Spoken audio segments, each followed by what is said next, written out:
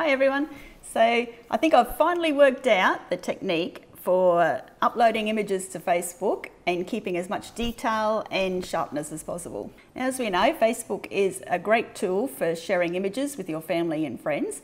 But if you're anything like me, you'd have noticed that like whenever you upload an image to Facebook, it's heavily compressed and not as sharp as it looks on your computer.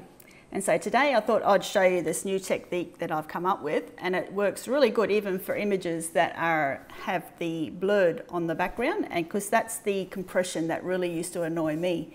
It was images where you had that beautiful background blur and of course Facebook tries to sharpen that background and doesn't realise that you actually want that blur to stay there.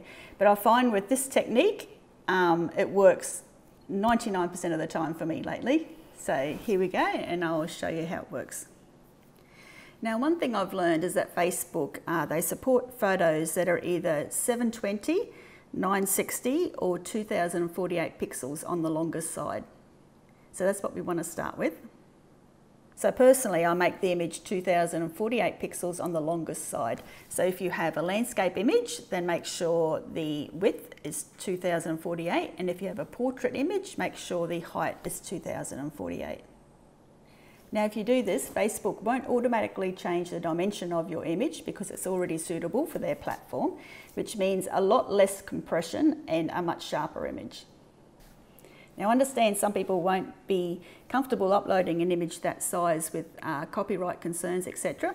So if you don't like 2048, like I, I don't mind that, then uh, make sure it's at least 960 at the longest. Then once you've resized the image, just uh, look at it at 100% in your editing software and just see if it's sharp enough for your liking. If not, then give it a little bit of a tweak with the sharpening.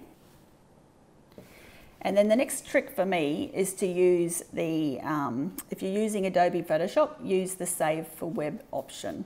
And this is because it's going to compress the file already. And I think this is one of the main things that I haven't been doing all along. I haven't been saving my image uh, for the web using that function. And so Facebook does it for me and it compresses it very badly at times. So what I do is I like to compress the file as a JPEG and at 70% compression.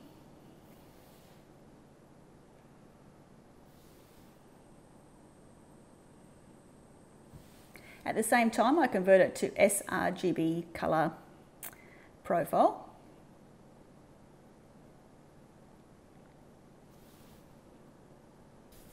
Okay, so just to summarize what we've talked about in this video and the techniques, uh, resize your images to 2048 or if you're not comfortable with that size then make it 960 at the longest size. Use the save for web function in Photoshop and save as a JPEG at 70% compression using sRGB color profile. When you upload it to Facebook, sometimes some people's browsers could have a tick that says high quality. It's an option that's there on some browsers.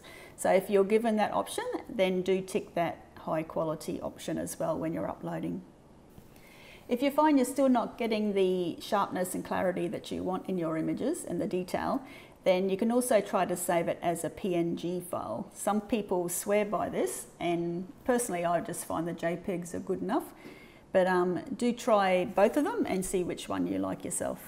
And I think you'll find that now when you upload your images to Facebook, they'll be a lot sharper and have a lot more detail. Don't forget, if you like this video, to give it a thumbs up and don't forget to follow our channel if you'd like more photography tips. And hopefully we'll see you again next time.